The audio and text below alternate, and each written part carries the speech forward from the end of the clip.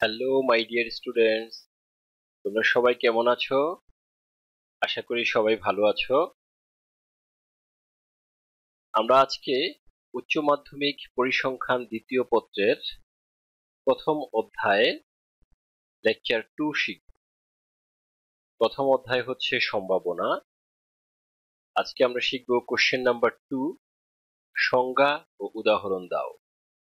এখানে আছে নিশ্চিত ঘটনা অসম্ভব বা অবাস্তব ঘটনা, অনিশ্চিত বা সম্ভাব্য ঘটনা, সরল বা মৌলিক ঘটনা, মিশ্র বা যৌগিক ঘটনা, পরিপূরক বা পূরক ঘটনা, সম্পূর্ণ ঘটনা, সমসম্ভাব্য ঘটনা, স্বাধীন বা অনির্ভরশীল ঘটনা, অধীন বা নির্ভরশীল ঘটনা।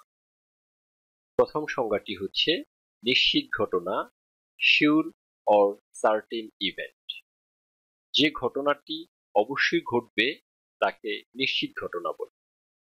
অন্যভাবে বলা যায়, যে ঘটনায় নমুনা ক্ষেত্রের সবগুলো নমুনা বিন্দু থাকবে, তাকে নিশ্চিত ঘটনা বলে। যেমন, একটা ছক্কা একবার নিক্ষেপ পরীক্ষার নমুনা ক্ষেত্র হচ্ছে S equal to one two three four five six এখন কোনো একটা ঘটনা যদি এমন হয়, এই এস নমুনা ক্ষেত্রের মধ্যে যতগুলো নমুনা বিন্দু আছে, তার সবগুলো ওই ঘটনায় থাকে, তাহলে সেটি নিশ্চিত ঘটনা হবে। এখানে আমরা ধরে নিলাম A equal to one two three four five six তাহলে এ একটি নিশ্চিত ঘটনা। অর্থাৎ নমুনা ক্ষেত্রে যতগুলো নমুনা বিন্দু আছে, তার সবগুলোই ঘটনাতে আছে, সেজন্য এ একটি নিশ্চিত ঘটনা। এখন যদি ডেফিনেশনের সাথে মিলাই যে ঘটনা অবশ্যই ঘটবে তাকে নিশ্চিত ঘটনা বলে। তাহলে এই ঘটনাটা অবশ্যই কীভাবে ঘটে? মনে করো ছক্কা নিক্ষেপ করলে এক আসলো, তাহলে এই ঘটনাটা ঘটবে কারণ এর মধ্যে এক আছে। ছক্কা নিক্ষেপ করলে দুই আসলো, তাহলেও এই ঘটনাটা ঘটেছে কারণ এখানে দুই আছে।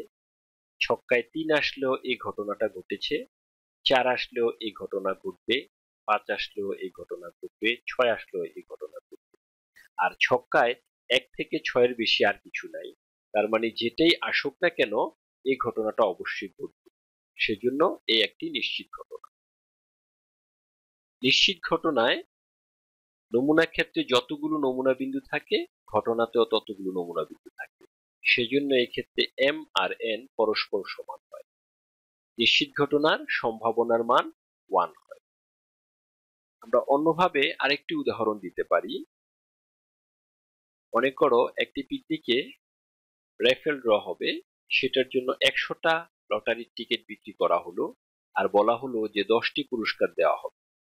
এখন তুমি যদি একশোটা টিকিটের সবগুলোই কিনে ফেলো, তাহলে তুমি প্রথম পুরস্কার পাবে, এটা নিশ্চিত। তুমি দ্বিতীয় পুরস্কার পাবে, সেটাও নিশ্চিত। তুমি একেবারে দশম পুরস্কারও পাবে, সেটাও নিশ্চিত। এটা একটা নিশ্চিত ঘটনা হবে। কেন হবে? কারণ লটারির যতগুলো টিকিট আছে, সবগুলো টিকিটই তুমি কিনেছ। এবার যে টিকিটটি লটারিতে আসুক না কেন, সেটা তোমার কাছে আছে। তাই সব ধরনের সবগুলো পুরস্কার পাওয়াটা তোমার জন্য নিশ্চিত। এটাও ঠিক সেরকম যে নমুনা ক্ষেত্রে যতগুলো নমুনা বিন্দু আছে, ঘটনাতে যদি তার সবগুলো নমুনা বিন্দু থাকে, তাহলে সেটি নিশ্চিত ঘটনা হয়ে যাবে। এবার শিখব অসম্ভব বা অবাস্তব ঘটনা। নিশ্চিত ঘটনার ঠিক বিপরীতে যে ঘটনা কখনোই ঘটবে না, তাকে অসম্ভব ঘটনা বা অবাস্তব ঘটনা বলে। আবার অন্যভাবে বলা যেতে পারে, যে ঘটনায় নমুনা ক্ষেত্রের কোনো নমুনা বিন্দু থাকে না, তাকে অসম্ভব ঘটনা বলে। যেমন, ছক্কা নিক্ষেপ করলে আমরা জানি one two three four five six এই ছয়টা নমুনা বিন্দু বা ছয়টা ফলাফল থাকে। এখন কেউ যদি বলে, ছক্কা নিক্ষেপ করলে দশ পাওয়া গেল তাহলে এটা একটা অসম্ভব ঘটনা। সাত পাওয়া গেল, সেটা একটা অসম্ভব ঘটনা। কারণ ছক্কায় কখনো দশ বা সাত থাকে না।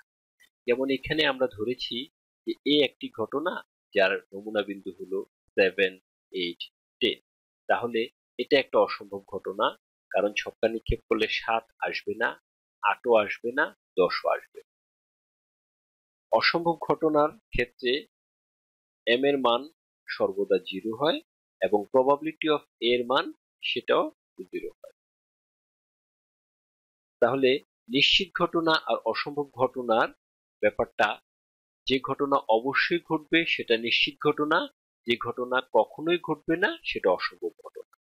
নিশ্চিত ঘটনাতে নমুনা ক্ষেত্রে যতগুলো উপাদান থাকে তার সবগুলোই থাকবে আর অসম্ভব ঘটনাতে নমুনা ক্ষেত্রের একটা উপাদানও থাকবে না। নিশ্চিত ঘটনার সম্ভাবনার মান হয় ওয়ান অসম্ভব ঘটনার সম্ভাবনার মান হয় শূন্য। এবার আমরা শিখব অনিশ্চিত ঘটনা বা সম্ভাব্য ঘটনা। যে ঘটনা ঘটতে পারে, আবার নাও ঘটতে পারে, তাকে অনিশ্চিত ঘটনা বলে। অনিশ্চিত ঘটনায় নমুনা ক্ষেত্রের আংশিক নমুনা বিন্দু থাকবে অনিশ্চিত ঘটনার সম্ভাবনার মান শূন্য থেকে বেশি হয়, কিন্তু ওয়ান থেকে কম হয়। যেমন, একটি ছক্কা একবার নিক্ষেপ পরীক্ষার নমুনা ক্ষেত্র S equal to one two three four five six এখন এ একটা ঘটনা যেখানে আমরা নিলাম দুই, চার, ছয়। এ একটা অনিশ্চিত ঘটনা, কারণ এই ঘটনাটা ঘটতে পারে, আবার নাও ঘটতে পারে। ছক্কা নিক্ষেপ করলে যদি এক আসে, তাহলে এই ঘটনাটা ঘটেনি, কারণ এর মধ্যে এক নেই যদি দুই আসে, তাহলে এই ঘটনাটা ঘটেছে, কারণ এতে দুই আছে। যদি তিন আসে, তাহলে এই ঘটনাটা ঘটেনি, কারণ এতে তিন নেই। যদি চার আসে কিংবা ছয় আসে, তাহলে এই ঘটনাটা ঘটেছে। তাহলে এ ঘটতে পারে, আবার নাও ঘটতে পারে। একই রকম ভাবে বিতে আছে তিন এবং পাঁচ। তো ছক্কা নিক্ষেপ করলে যদি তিন আসে অথবা পাঁচ আসে, তাহলে বি ঘটনাটা ঘটেছে। আর যদি তিন পাঁচ ব্যতীত অন্য কোনো সংখ্যা আসে, তাহলে বি ঘটনাটা ঘটে। অনিশ্চিত ঘটনার ক্ষেত্রে মোট ঘটনার অনুকূল নমুনা বিন্দু এম এর মানটা জিরো থেকে বেশি হবে আর এন থেকে কম হবে। অনিশ্চিত ঘটনার সম্ভাবনার মান শূন্য থেকে বেশি এবং এক থেকে কম। নাম্বার ফোরে আমরা শিখব সরল বা প্রাথমিক বা মৌলিক ঘটনা সিম্পল ইভেন্ট যে ঘটনায় মাত্র একটি নমুনা বিন্দু থাকে, তাকে সরল ঘটনা বলে। অথবা বলা যেতে পারে যে নমুনা ক্ষেত্রের প্রত্যেকটি উপাদান নিয়ে গঠিত ঘটনাই হচ্ছে এক একটি সরল ঘটনা। আর তার প্যারালাল ভাবে আমরা শিখব যৌগিক বা মিশ্র ঘটনা। যে ঘটনায় একাধিক নমুনা বিন্দু থাকে, তাকে যৌগিক ঘটনা বলে। অথবা দুই বা ততোধিক সরল ঘটনার সমন্বয়ে যৌগিক ঘটনা গঠিত হয়। আমরা সরল ঘটনায় দেখি, একটা মুদ্রা যদি দুইবার নিক্ষেপ করা হয়, তাহলে তার নমুনা ক্ষেত্রটা এস হবে এইচ এইচ অর্থাৎ head head H T head tail T H tail head T T tail tail এখানে চারটা নমুনা বিন্দু বা চারটা ফলাফল আছে। এর যে কোনো একটা নিয়ে কোনো ঘটনা তৈরি হলে তাকে সরল ঘটনা বলে। যেমন এ এখানে এইচ এইচ এই নমুনা বিন্দুটি নেওয়া হয়েছে। একটি নমুনা বিন্দু নিয়ে একটি ঘটনা তৈরি হয়েছে, তাই এ একটি সরল ঘটনা।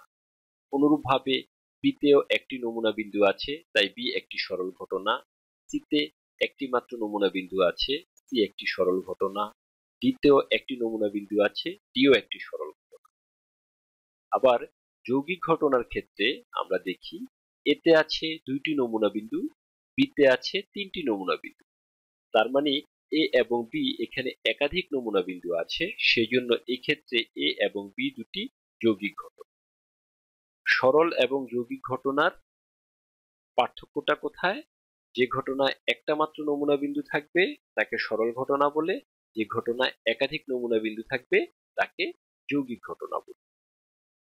পরিপূরক বা পূরক ঘটনা কমপ্লিমেন্টারি ইভেন্টস যদি কোনো নমুনা ক্ষেত্রের দুইটি ঘটনা এমন হয় যে উহাদের একটি ঘটনা ঘটলে অন্যটি ঘটবে না এবং ঘটনাদ্বয়ের সংযোগ সেট নমুনা ক্ষেত্রের মোট নমুনা বিন্দু সমান হয়, তবে ঘটনাদ্বয়কে পরস্পরের পরিপূরক ঘটনা বলে।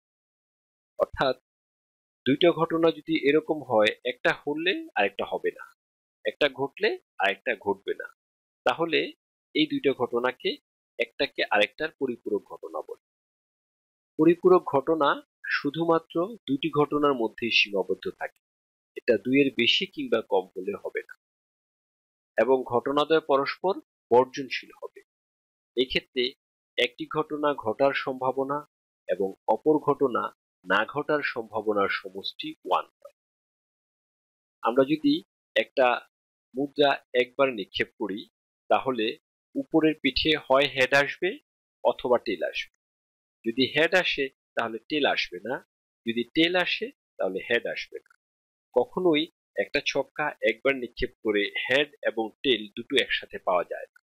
সেজন্য একটি মুদ্রা নিক্ষেপ করে হেড অথবা তেল পাওয়া এটা পরিপূরক ঘটনা।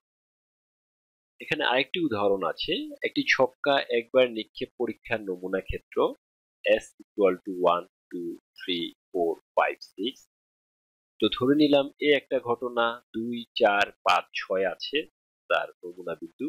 তাহলে এ বার আরেকটি ঘটনা, সেটি হবে এই নমুনা ক্ষেত্র থেকে দুই, চার, ছয় বাদ দিয়ে বাকি যে উপাদান থাকে, এক এবং তিন সেটি নিয়ে গঠিত ঘটনা। তাহলে এ আর এবার এরা পরস্পর পরিপূরক ঘটনা হবে। কারণ এখানে যদি ছক্কা নিক্ষেপ করলে এক আসে, তাহলে এ বার ঘটনাটা ঘটেছে এই ঘটনাটা তখন ঘটে নাই। ছক্কা নিক্ষেপ করলে যদি দুই আসে, তাহলে এই ঘটনাটা ঘটেছে এ বার ঘটে নাই। তিন আসলে এ বার ঘটেছে, এ তখন ঘটেনি। আবার চার আসলে পাঁচ আসলে কিংবা ছয় আসলে এই ঘটনা ঘটেছে, তখন এ বার ঘটেনি তাহলে এখানে একই সাথে এ এবং এ বার দুটো ঘটনা ঘটার কোনো চান্স নেই। সেজন্য এ এবং এ বার পরস্পর পরিপূরক ঘটনা। পরিপূরক ঘটনার ক্ষেত্রে probability of A plus probability of A bar equal to one হয়। সম্পূর্ণ ঘটনা এক্সস্টিভ ইভেন্টস কোনো দৈব পরীক্ষায় প্রাপ্ত কতগুলো বর্জনশীল বা অবর্জনশীল ঘটনার সেট যদি ওই দৈব পরীক্ষার নমুনা ক্ষেত্রের সমান হয়, তাহলে তাদেরকে সম্পূর্ণ ঘটনা বলে। সম্পূর্ণ ঘটনার সম্ভাবনার সমষ্টি ওয়ান হয়, এক্ষেত্রে ঘটনাগুলো বর্জনশীল হতে পারে, আবার অবর্জনশীল হতে পারে। আমরা যদি একটা উদাহরণ দেখি, একটা ছক্কা একবার নিক্ষেপ করলে তার নমুনা ক্ষেত্র হলো one two three four five six ধরে নিলাম এ একটি ঘটনা যার নমুনা বিন্দু ওয়ান টু বি আরেকটি ঘটনা নমুনা বিন্দু থ্রি ফোর সি আরেকটি ঘটনা নমুনা বিন্দু ফাইভ এখন এ বি সি এই তিনটি ঘটনা একত্রিত করলে নমুনা ক্ষেত্র one two three four five six এর সমান হয়ে যায়। সেজন্য এখানে এ বি সি তিনটি সম্পূর্ণ ঘটনা পরিপূরক ঘটনা এবং সম্পূর্ণ ঘটনার পার্থক্য হচ্ছে, পরিপূরক ঘটনা শুধুমাত্র দুটি ঘটনার মধ্যে সীমাবদ্ধ থাকবে আর সম্পূর্ণ ঘটনা দুটি বা তার বেশি ঘটনার মধ্যে হতে পারে। পরিপূরক ঘটনা অবশ্যই বর্জনশীল হবে আর সম্পূর্ণ ঘটনা বর্জনশীল হতে পারে অবর্জনশীল হতে পারে। আবার এদের মধ্যে দুটি মিল আছে। পরিপূরক ঘটনা দুটিকে একত্রিত করলে নমুনা ক্ষেত্রের সমান হয়। আবার সম্পূর্ণ ঘটনাগুলোকেও একত্রিত করলে নমুনা ক্ষেত্রের সমান হয়। পরিপূরক ঘটনার সম্ভাবনার সমষ্টি ওয়ান হয়, আবার সম্পূর্ণ ঘটনারও সম্ভাবনার সমষ্টি ওয়ান হয়। তাহলে পরিপূরক এবং সম্পূর্ণ ঘটনার দুটি মিল আছে এবং দুটি গড় মিল আছে। সমসম্ভাব্য ঘটনা। সমসম্ভাব্য এই নামটি থেকেই সংজ্ঞাটা অনেকটা অনুমান করা যায়। কতগুলো ঘটনার প্রত্যেকের সম্ভাবনার মান পরস্পর সমান হলে তাদেরকে সমসম্ভাব্য ঘটনা বলে। এক্ষেত্রে প্রত্যেকটা ঘটনার নমুনা বিন্দুর সংখ্যা সমান থাকবে। আবার ঘটনাগুলো বর্জনশীল হতে পারে, অবর্জনশীল হতে পারে। তাহলে যে ঘটনাগুলোর প্রত্যেকের সম্ভাবনার মান সমান তাদেরকে সমসম্ভাব্য ঘটনা বলে সমসম্ভাব্য ঘটনার প্রত্যেকটার নমুনা বিন্দুর সংখ্যা সমান থাকবে। যদি প্রথম ঘটনাতে তিনটা নমুনা বিন্দু থাকে, তাহলে পরবর্তী ঘটনাগুলোতেও তিনটি করেই নমুনা বিন্দু থাকবে। যদি প্রথম ঘটনাতে দুইটা নমুনা বিন্দু থাকে, তাহলে পরবর্তী ঘটনাগুলোতেও দুটি করেই নমুনা বিন্দু থাকতে হবে। তাহলে তাদেরকে সমসম্ভাব্য ঘটনা বলে। এই ঘটনাগুলো বর্জনশীল হতে পারে, আবার অবর্জনশীল হতে পারে। এবার আমরা শিখব স্বাধীন বা অনির্ভরশীল ঘটনা ইন্ডিপেন্ডেন্ট ইভেন্টস কোনো ঘটনা ঘটা বা না ঘটা যদি অন্য কোনো ঘটনার দ্বারা প্রভাবিত না হয় অথবা অন্য কোনো ঘটনার উপর নির্ভর না করে, তাহলে ওই ঘটনাগুলোকে স্বাধীন ঘটনা বলে। যেমন, দুইটা মুদ্রা উপরে নিক্ষেপ করলে একটা মুদ্রায় হেড আসার ঘটনা অবশ্যই অপর মুদ্রায় টেল আসার ঘটনা দ্বারা প্রভাবিত হবে না। সুতরাং এক্ষেত্রে ঘটনাদ্বয় পরস্পর স্বাধীন। স্বাধীন ঘটনার সূত্রকে স্বাধীন ঘটনার গুণের সূত্র বলে। যদি এ ও বি দুটি স্বাধীন ঘটনা হয়, তাহলে সূত্রটি হল probability of A intersection B equal to probability of A into of B অধীন বা নির্ভরশীল ঘটনা ডিপেন্ডেন্ট ইভেন্টস এটা স্বাধীন ঘটনার ঠিক বিপরীত ঘটনা। কোনো ঘটনা ঘটা বা না ঘটা যদি অন্য কোনো ঘটনার দ্বারা প্রভাবিত হয় অথবা অন্য কোনো ঘটনার উপর নির্ভর করে, তাহলে তাদেরকে অধীন ঘটনা বলে। যেমন, একটা বাক্স থেকে পরপর দুটি বল নেওয়া হলে দ্বিতীয় বলটি কি হবে উহা প্রথম বলের উপর নির্ভর করে। এখানে প্রথম বলের ঘটনাটা স্বাধীন এবং দ্বিতীয় বলের ঘটনাটা অধীন। আমরা অন্যভাবেও উদাহরণটা দিতে পারি। মনে করো একটা বাক্সে একটি লাল বল আছে, একটি সাদা বল আছে।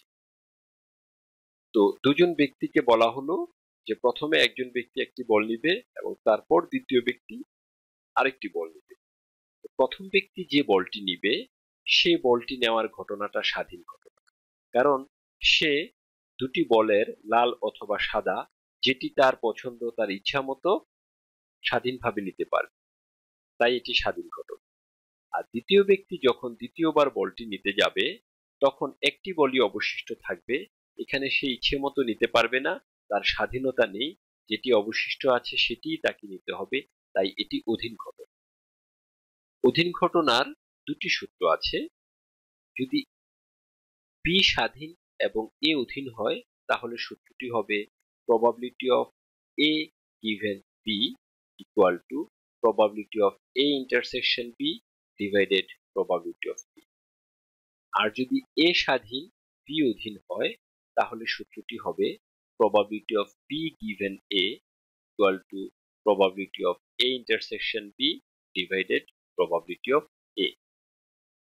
তাহলে স্বাধীন ঘটনা এবং অধীন ঘটনার বেসিক পার্থক্যটা কোথায়?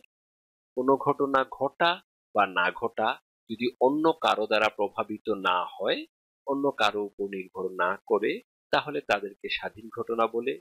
আর যদি অন্য কারও দ্বারা প্রভাবিত হয় অথবা অন্য কারও উপর নির্ভর করে, তাহলে তাদেরকে অধীন ঘটনা বলে। তো চলো আমরা প্রথম থেকে সবগুলো ঘটনা একবার রিভিউ করি। আমাদের আজকের প্রথম ঘটনাটি হচ্ছে নিশ্চিত ঘটনা। যে ঘটনা অবশ্যই ঘটবে, তাকে নিশ্চিত ঘটনা বলে। নিশ্চিত ঘটনায় নমুনা ক্ষেত্রে সবগুলো নমুনা বিন্দু থাকে এবং নিশ্চিত ঘটনার সম্ভাবনার মান শূন্য হয়। এই নিশ্চিত ঘটনার ঠিক বিপরীত ঘটনাটি হচ্ছে অসম্ভব বা অবাস্তব ঘটনা। যে ঘটনা কখনোই ঘটবে না, তাকে অসম্ভব ঘটনা বলে। অসম্ভব ঘটনায় নমুনা ক্ষেত্রের কোনো নমুনা বিন্দু থাকে না। অসম্ভব ঘটনার সম্ভাবনার মান শূন্য হয়। নিশ্চিত এবং অসম্ভব এই দুটি ঘটনার মাঝখানে হচ্ছে অনিশ্চিত ঘটনা। যে ঘটনা ঘটতে পারে, আবার নাও ঘটতে পারে, তাকে অনিশ্চিত ঘটনা বলে। অনিশ্চিত ঘটনায় নমুনা ক্ষেত্রের আংশিক নমুনা বিন্দু থাকে। অনিশ্চিত ঘটনার সম্ভাবনার মান শূন্য থেকে বেশি হয়, কিন্তু ওয়ান থেকে কম। যে ঘটনায় একটি মাত্র নমুনা বিন্দু থাকে, তাকে সরল ঘটনা বলে। আর যে ঘটনায় একাধিক নমুনা বিন্দু থাকে, তাকে যৌগিক ঘটনা বলে। পরিপূরক ঘটনা, যদি কোনো নমুনা ক্ষেত্রের দুইটা ঘটনা এমন হয় যে একটি ঘটলে অন্যটি ঘটবে না এবং দুটো ঘটনা একত্রিত ভাবে নমুনা ক্ষেত্রটা তৈরি করে, তাহলে ওই দুইটা ঘটনাকে একে অন্যের পরিপূরক ঘটনা বলে। পরিপূরক ঘটনা অবশ্যই বর্জনশীল হতে হবে। পরিপূরক ঘটনা শুধুমাত্র দুটি ঘটনার মধ্যে সীমাবদ্ধ থাকবে এবং পরিপূরক ঘটনাদ্বয়ের সম্ভাবনার সমষ্টি ওয়ান হবে। সম্পূর্ণ ঘটনা কোন দৈব পরীক্ষায় প্রাপ্ত কতগুলো বর্জনশীল অথবা অবর্জনশীল ঘটনা একত্রিত করলে যদি নমুনা ক্ষেত্রে সমান হয়, তাহলে তাদেরকে সম্পূর্ণ ঘটনা বলে। সম্পূর্ণ ঘটনা দুইটাও হতে পারে, দুইয়ের বেশিও হতে পারে। সম্পূর্ণ ঘটনা বর্জনশীলও হতে পারে, অবর্জনশীলও হতে পারে। সম্পূর্ণ ঘটনার সম্ভাবনার সমষ্টি ওয়ান হয়। কতগুলো ঘটনার সম্ভাবনার মান পরস্পর সমান হলে তাদেরকে সমসম্ভাব্য ঘটনা বলে। সমসম্ভাব্য ঘটনার প্রত্যেকটা ঘটনার নমুনা বিন্দুর সংখ্যা সমান হয়। যদি প্রথম ঘটনাতে দুটি নমুনা বিন্দু থাকে, তাহলে বাকি সবগুলো ঘটনাতে দুটি করেই নমুনা বিন্দু থাকবে। যদি প্রথম ঘটনায় তিনটি নমুনা বিন্দু থাকে, তাহলে সবগুলো ঘটনাতে তিনটি করে নমুনা বিন্দু থাকবে।